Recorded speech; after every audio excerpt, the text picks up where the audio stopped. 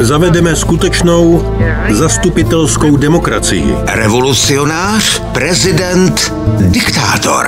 Víme, co děláme, víme, jak bránit svou svrchovanost a nezávislost.